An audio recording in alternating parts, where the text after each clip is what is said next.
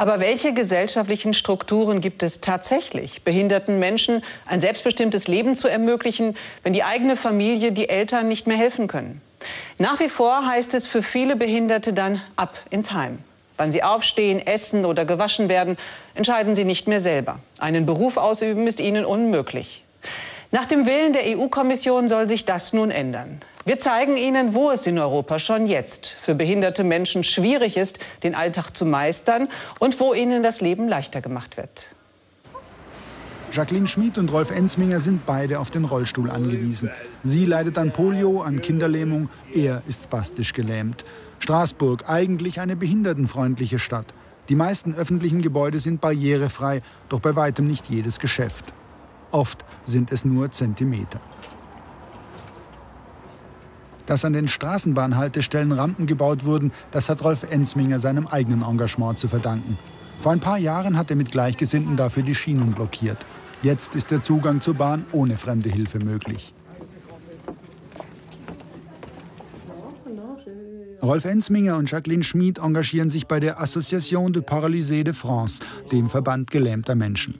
Sie wehren sich gegen Diskriminierung, fordern für sich auch den gesetzlichen Mindestlohn. Mit rund 600 Euro bekommen sie nicht einmal die Hälfte davon. Behinderte müssen Miete zahlen. Sie zahlen ja nicht weniger, sie zahlen die gleiche Miete wie alle. Dann müssen sie Geld für Lebensmittel ausgeben. Und dazu kommen weitere Kosten, nicht nur medizinische auch für technische Hilfsmittel. Das muss alles sichergestellt werden. Ein Mindesteinkommen von 600 Euro, wie es derzeit der Fall ist, reicht bei weitem nicht. Gleichfalls in Straßburg will das Europäische Parlament jetzt eine weitreichende Antidiskriminierungsrichtlinie verabschieden. Niemand soll aufgrund von Alter, Religion, Weltanschauung, sexueller Ausrichtung oder Behinderung benachteiligt werden. Bisher gilt die Regelung nur für den Arbeitsplatz, jetzt soll sie für alle Lebensbereiche gelten. Doch vielen konservativen Politikern geht das zu weit.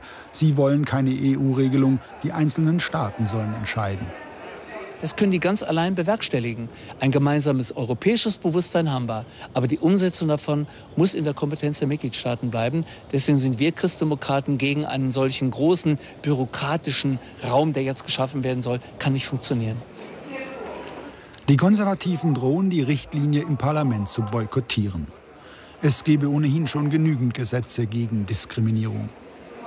Solange Menschen noch ins Heim geschickt werden, ohne dass sie das wollen, oder solange öffentliche Gebäude wie Kinos, Theater äh, oder auch die Bahn nicht zugänglich sind für Menschen mit, mit Rollstuhl oder auch mit, äh, mit anderen Behinderungen, solange ist die Gesetzeslage noch lange nicht auf dem Stand, wie sie sein müsste. In Deutschland können die wenigsten Behinderten frei darüber entscheiden, wo sie leben. Corinna Zolle ist eine Ausnahme. Die Molekularbiologin leidet unter spinaler Muskelatrophie. Sie braucht rund um die Uhr Betreuung. Trotzdem lebt sie nicht im Heim, sondern zu Hause, ist berufstätig und selbstständig. Denn sie hat persönliche Assistenten. Die, sagt sie, ersetzen mir die Hände und die Füße. Aber das Modell der persönlichen Assistenz ist in Deutschland die Ausnahme. Und man muss sich mit seinem Einkommen und Vermögen an den Kosten beteiligen. Peter, holst du mir mal einen Ordner? Behalten darf man nur den Hartz-IV-Satz. Corinna Zolle empfindet das als Diskriminierung. Sie ist nicht schuld an ihrer Krankheit. Weshalb soll sie also nicht so viel verdienen dürfen wie ein gesunder Mensch? Es geht auch anders, nämlich in Schweden. Adolf Ratzka hat das System hier mit aufgebaut. Von ihm stammt sogar der Begriff persönliche Assistenz. Adolf Ratzka ist mit 17 Jahren an Polio erkrankt. Studiert hat er in den schon damals behindertenfreundlichen USA. Sein Beruf brachte ihn vor 35 Jahren nach Schweden. Dort engagiert er sich seither für die Behinderten. Hat eine Genossenschaft aufgebaut, leitet das Institut für selbstbestimmtes Leben in Stockholm. In Schweden lebt seit Jahren niemand mehr im Heim. Persönliche Assistenz ist hier der Normalfall. Die Behinderten stellen ihre Assistenten selbst ein und lernen sie an. Ich bin der Chef, ich entscheide. Ich bin also Subjekt und nicht mehr Objekt. Ich bin der Handelnde, ich bin nicht der, der Passive, der entgegennehmen muss und sich alles gefallen lassen muss. Das System ist sogar wirtschaftlich. Die Behinderten beschäftigen landesweit 60.000 Menschen, bezahlt vom Staat. Das persönliche Einkommen bleibt in Schweden unangetastet. Adolf Ratzka führt ein ziemlich normales Leben, ist verheiratet, hat eine Tochter, einen Beruf, der ihn oft ins Ausland führt. Er beteiligt sich sogar im Haushalt, mit Hilfe seines Assistenten, der ihm abnimmt, was er selbst nicht erledigen kann. Also ich kann mir mein Leben eigentlich gar nicht mehr vorstellen ohne persönliche Assistenz. Äh, ganz einfache Sachen. Äh, in einer Einrichtung in Deutschland zu wohnen, zu verkümmern, ich wahrscheinlich gar nicht mehr im Leben, weil mir das Leben gar nicht mehr Spaß macht.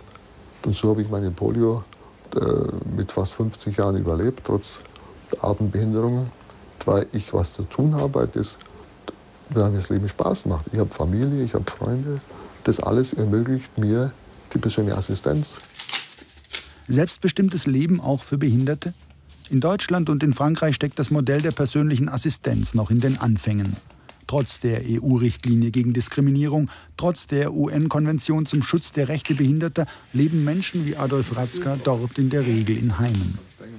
Dass es auch anders geht und volkswirtschaftlich nicht einmal teurer ist, zeigt das Beispiel Schweden.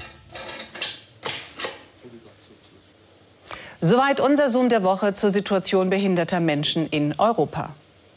Tschechien ist immer wieder in den Schlagzeilen. Nicht nur, weil das Land derzeit den EU-Ratsvorsitz hat, sondern vor allem, weil dort noch nicht über die EU-Verfassung abgestimmt wurde. Seit gestern berät das tschechische Parlament erneut darüber. Bei den Beratungen mit dabei ist ein Mann, der für die EU ist und